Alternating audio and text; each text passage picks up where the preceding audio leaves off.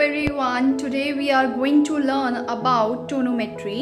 In tonometry, we are going to learn about indentation method and in this method we all know that it is devised in 1905 and it is very simple, reliable and low effect low price effective and as well as it is very accurate it gives very accurate reading for our examination. So we are going to learn about indentation method in today's video which have uh, the plunger and a foot plate and a needle and uh, with that needle it will go through the scale reading to examine the result of eye pressure. Thank you so much for viewing my previous videos. Please watch till last to understand very deeply about indentation tonometry. Today we are going to learn about tonometry. It's an instrument which is used to measure the IOP of an eye. Now the question arises that what is IOP? So IOP is a intraocular pressure.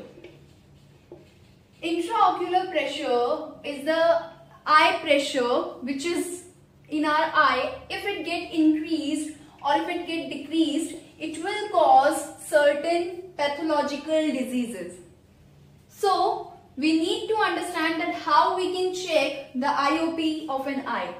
It is checked by two kind of instruments in tonometry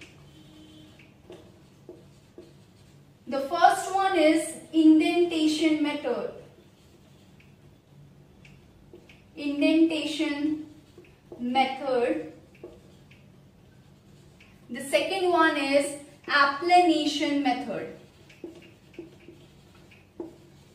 Today we are generally want uh, getting to know about indentation method. Indentation method is devised in 1905 Okay, through this we understand that it is a method of indenting something. So we indent this foot plate on the cornea. Okay, to check the pressure. If it get indent, uh, this get indent more in soft eye. If the pressure is low and means if if the pressure is normal then it will indent more and if the pressure is high if it is in the hard eye okay hope you all understand about thing that about the indentation method now understanding about Schiotz tonometer it is done by Schiotz tonometer this is a Schiotz tonometer you are seeing here. It look like this. The first thing we need to understand that what is a supporting structure in the Schiotz tonometer? The supporting structure is a holder. You can say this as a barrel also. Uh, you can say this as a holder which is handling the Schiotz tonometer. and then this holder is having a barrel. Barrel means the barrel is having more uh, parts of the instrument in the Schiotz tonometer. Then it, he, uh, the Schiotz tonometer is having foot plate also. That foot plate is being indented on the cornea and this holder is positioned vertically on the cornea. we need to learn this that we had to put the holder in the vertical position on the cornea.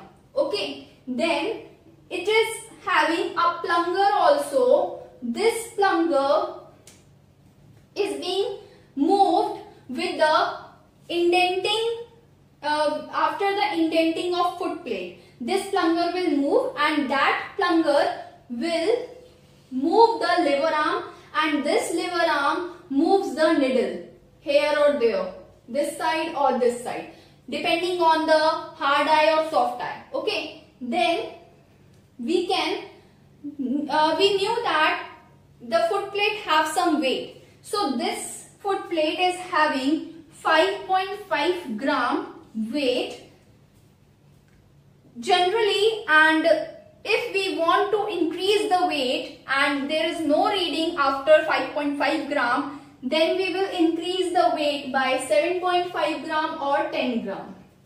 Hopefully you all understand about this thing. This is a test block. Test block is me. Uh, test block means we are uh, having an eye to be examined here and this foot plate rests on the cornea and that makes the plunger move with the with moving the lever arm and lever arm moves the needle to judge the pressure okay and to examine the pressure hope you all understand about indentation method of tonometry by Schiotz tonometer so the steps of tonometry are the first step is to anesthetize the eye with Paracaine and waiting after the insertion of drop of Paracaine for 2 minutes.